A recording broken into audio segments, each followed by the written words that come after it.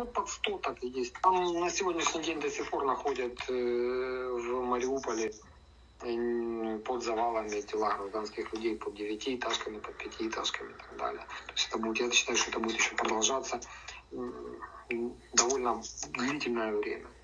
Я думаю, что цифра, которую называют под 100 тысяч, это очень реальная цифра. Ты прикинь, какая это жесть, да?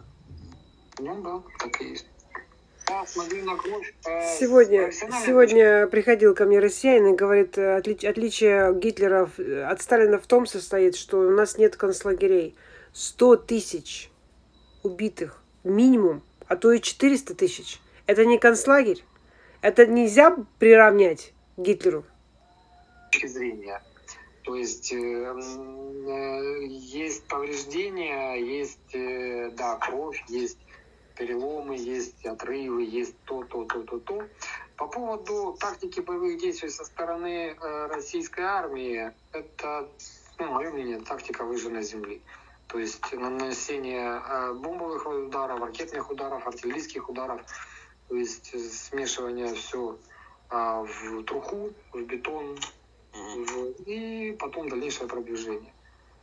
Ну, они сами об этом говорят. Они говорят, мы сначала все выбиваем, а потом заходим. Дмитрий Пастернак до 26 апреля спасал людей в бункере под третьей больницей в Мариуполе. Тот самый, который провел ампутацию руки садовыми ножницами.